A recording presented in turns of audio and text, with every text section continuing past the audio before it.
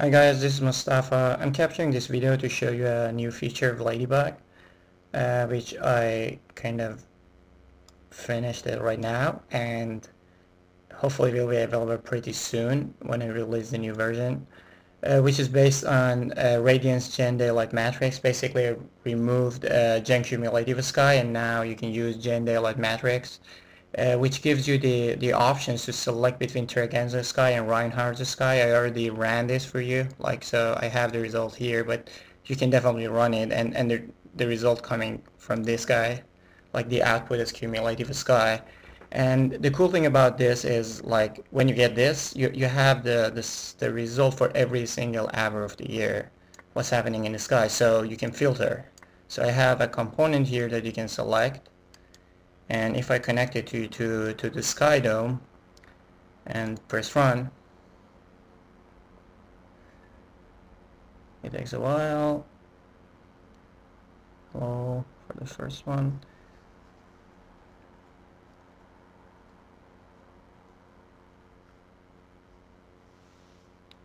Okay.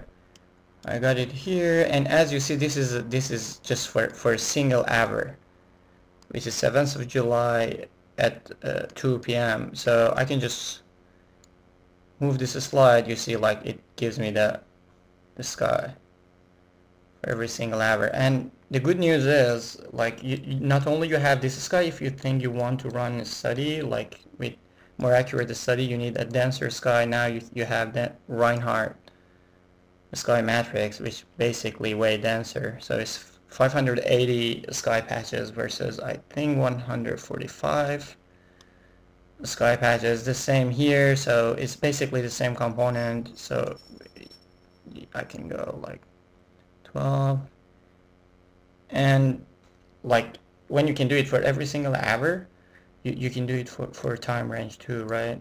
So I just remove this.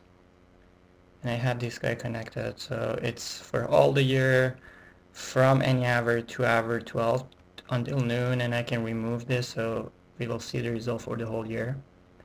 Okay, so I think this is pretty cool. It, it gives you lots of options and now you can run like hourly studies but there is something even more cool than this that I'm going to show you right now which is the main reason that I'm capturing this video.